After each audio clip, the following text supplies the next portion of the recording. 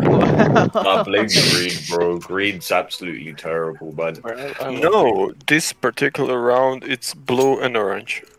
I think purple to hit shots, Yeah, purple hit his shots, man. I feel like I'm gonna die very bad there. Nade, so hot. That was a fishy shit. That was a fishy shit. Yeah, baby.